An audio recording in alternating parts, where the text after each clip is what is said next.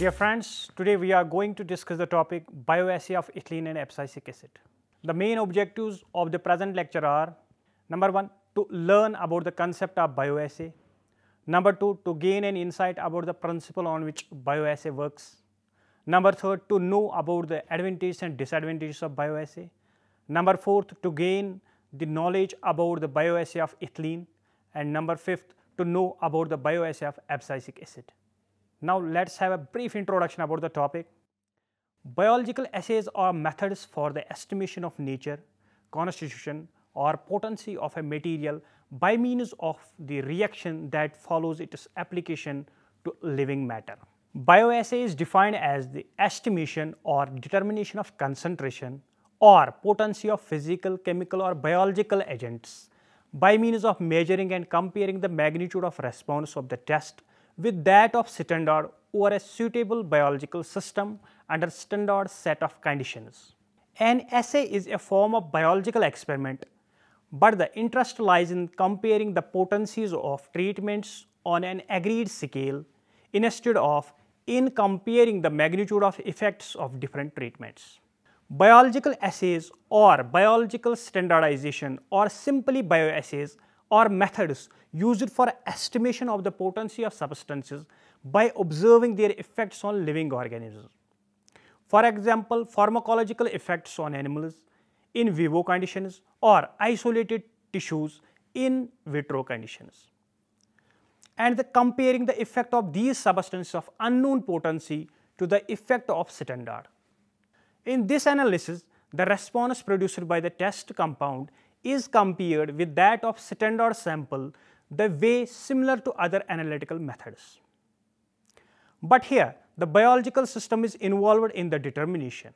Bioassay is assessment of a biological substance.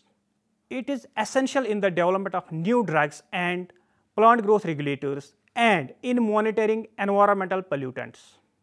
The typical bioassay involves a stimulus applied to a subject application of stimulus is followed by a change in some measurable characteristics of the subject, the magnitude of the change being depend upon the dose. The intensity of the stimulus is varied by using various doses by the analyst. Now, the principle on which the bioassay works. Bioassay involves the comparison of the mean response of unknown preparation with that of standard. The method selected should be reliable, sensitive and reproducible and should minimize errors due to biological variation and methodology. The degree of response produced should be reproducible under identical set of conditions. The reference standard and the test sample should have same effects and mode of action so that their potency ratio can be calculated or compared. The activity assayed should be activity of interest individual variations must be minimized or accounted for that. The test solution and the standard should be compared for their established effect using specific techniques. Prior to the development of sensitive, precise and accurate chemical and physical assays for the presence of concentration of plant growth regulators, we had to rely on bioassays. Now, what are the main advantages of bioassays? Sensitivity of the tissue is determined by plotting of a concentrate response curve. They not only help to determine the concentration but also the potency of sample. It is especially used to standardize drugs, vaccines, toxins or poisons, disinfectants, antiseptics, PGRs, etc. As these are all used over biological systems in some or other form. These also help to determine the specificity of compound to be used. The concept and the principles of bioassay can be very useful when performing structural activity relationships.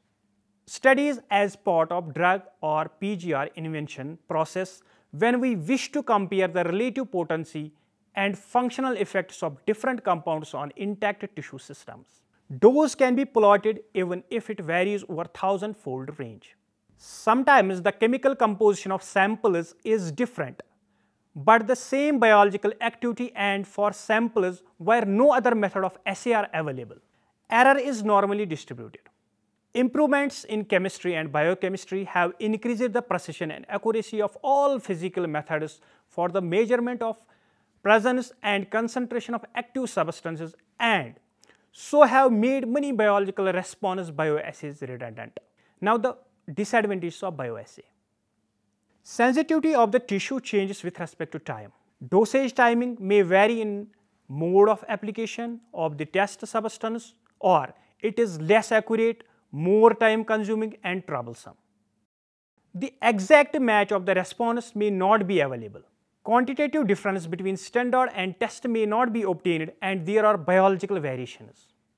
The use of bioassays, however, has declined with the development of highly sensitive physical techniques that allow precise identification and quantification of specific PGRs from small amount of tissues.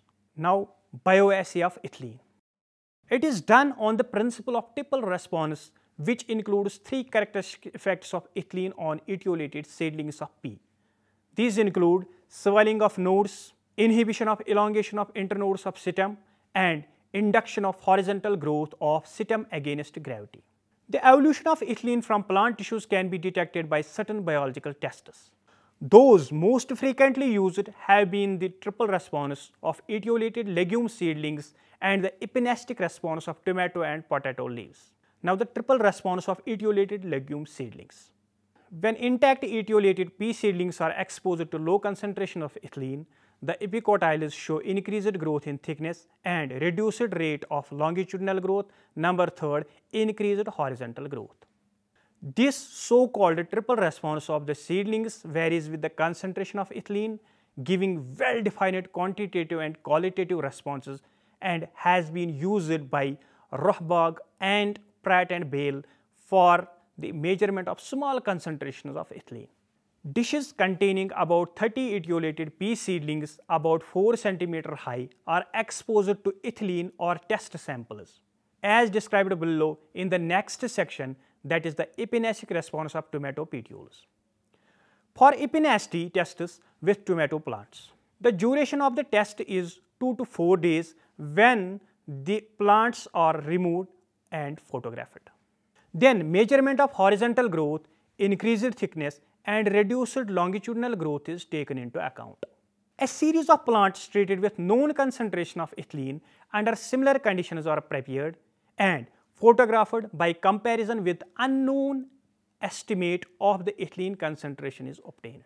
The preparation of the standard set of peas requires a number of ethylene air mixtures containing known concentration of ethylene covering the range between 0.05 to 10 parts per million.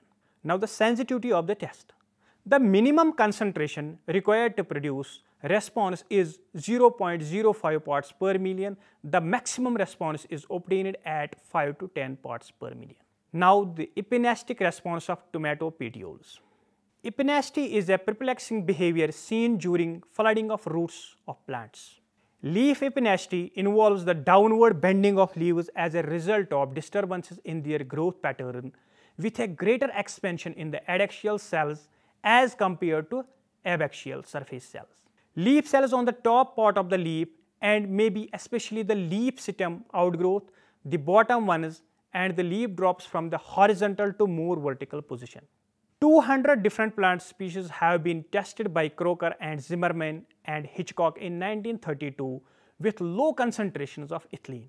These authors recommend that tomato plants as the most suitable test plants for the epinastic responses of petioles being extremely delicate test for presence of ethylene. Certain precautions are necessary during the experimentation. Young, vigorously growing plants should be used since they are more sensitive and give quicker response. The upper sides of the petioles should form acute angles with the stem. The test should be made at a temperature of 15 degree or higher to permit growth and should be terminated after one or two days. Control plants should be run in air known to be free from ethylene. The test is usually carried out in one of the three ways. The tomato plant and the tissue to be tested are placed in a closed vessel such as bell jar. Alternatively, the plant tissue is placed in a closed vessel from which samples of gas are withdrawn injected into another vessel containing tomato plant or the two vessels are joined together and the plant volatile displaces it into contact with tomato plant by passing a stream of air. Then epinastic responses are measured. A concentration of 0.1 parts per million ethylene gives a positive response, while other gases or volatile substances are known to cause similar responses as ethylene. Nevertheless, a positive result obtained by either of the above tests is a strong indication of presence of ethylene. Among a very large number of gases and volatile substances investigated by Crocker et al. 1932, Nelson and Harvey, and Denny, the following were found to cause epinasty of tomato and potato petioles. These gases that is carbon monoxide, acetylene, propylene, butylene, amylene, ethyl bromide, ethyl iodide, propyl chloride, acetonitrile, methyl oxide and vinyl acetate. Some plant seedlings produce volatile products which kill the test plant. These products are not absorbed by the mercury reagent whereas ethylene is hence. They can be eliminated and the specificity of the test improved by passing the air containing the plant volatile through a solution of mercuric nitrite in dilute nitric acid. The ethylene is released from testing by the addition of concentrated HCl. Since propylene, butylene, acetylene and carbon monoxide are not absorbed by this reagent and so not released by HCl. Now the number third test on presence of ethylene is the pea stem swelling test. This test was performed Cherry in 1973 using pea seedlings to measure ethylene concentration by marked increase of stem swelling expressed as ratio of weight to length. In 1 parts per million of ethylene, the ratio is about 4.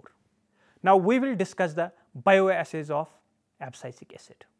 As a matter of fact, the growth inhibitors act as chemical check upon plants preventing the seeds from germinating and buds from opening under unfavorable conditions. For example, the sprouting of lateral buds during cold weather is inhibited by presence of growth inhibitors, for example, abscisic acid. Abscisic acid is produced within the plant body during the previous growing season. Abscisic acid accumulates in plant tissues in response to environmental stress and virus and bacterial infections. Several diverse bioassays are available for experimental studies of abscisic acid. These include, for example, inhibition of cucumber hypocotyl elongation, inhibition of alpha amylase synthesis in barley endosperm test, stomatal closure of mung bean hypocotyls, rice seedling growth inhibition test, acceleration of abscission in petiole explants. Now we will discuss inhibition of cucumber hypocotyl elongation test performed by Lin et al. in 1988. This test is a simple bioassay for abscisic acid using cucumber hypocotyls. The test is based on studying or measuring the inhibition of elongation of cucumber hypocotyls. The hypocotyls from the seedlings of different ages are excised in dim green safe light. Three consecutive sections of hypocotyl at 5 mm intervals that is 0 to 5, 5 to 10 and 10 to 15 millimeter below the cotyledons are excised. A group of 7 hypocotyl sections with 3 replicates are placed in a 50 ml flask containing 1 ml of test solution for each trial. The test solution consisted of 2 millimolar sodium phosphate having pH 5.8, 40 millimolar KCl and the ABA standard to be assayed. The bottles containing the test hypocotyls were placed in a shaker under darkness at 28 degrees Celsius and shaken at 10 rpm for conditioning after 20 hours of incubation, the test samples were exposed to continuous rotation on a roller set at 1 rpm. The hypocotyl length was measured under a dissecting microscope with the aid of a micrometer after 24 hours of exposure to light.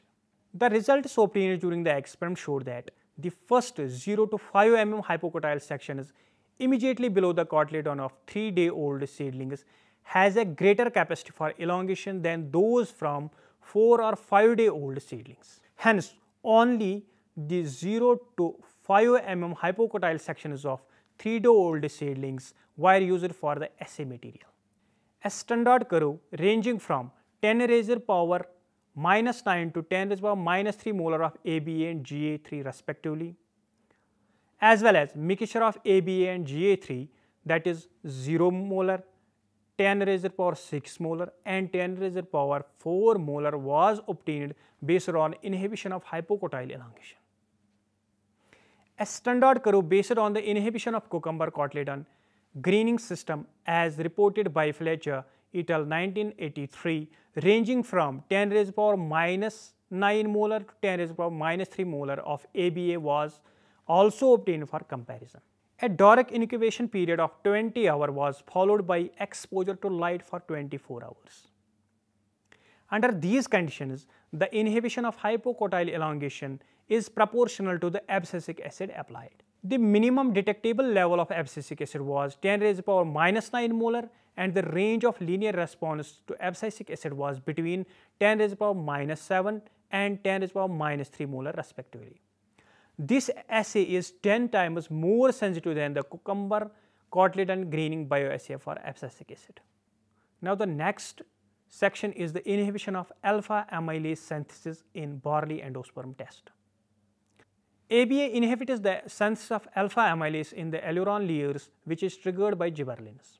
Goldschmidt and Monselise in 1968 developed the bioassay method to estimate the ABA activity by determining the extent of inhibition of alpha amylase synthesis induced by treating the barley seeds endosperm with gibberellic acid.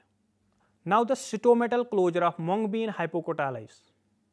Bioassays involving stomatal closure are not used frequently due to possible injury during preparation of isolated epidermal strips. Number 2, rhythmic variation in the stomatal aperture and need for accurate measurement of pore size can present some difficulties during the experimentation. However, a bioassay based on stomatal closure by ABA in excised mung bean hypocotylis was given in 1980 by Dhawan et al. Reduced water uptake by excised mung bean hypocotylis was found to provide a direct quantitative bioassay for the anti-transpirant activity of ABA. Seeds of mung bean Vigna radiata were soaked for 3 hours in tap water and sown 2 cm deep in pots containing perlite.